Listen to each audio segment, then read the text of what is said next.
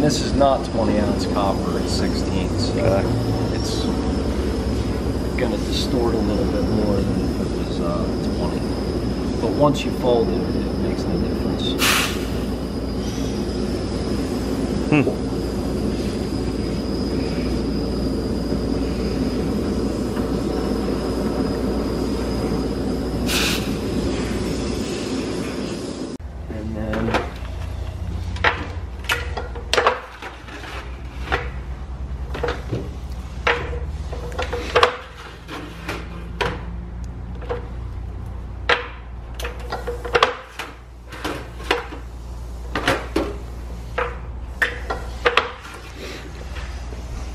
There you go.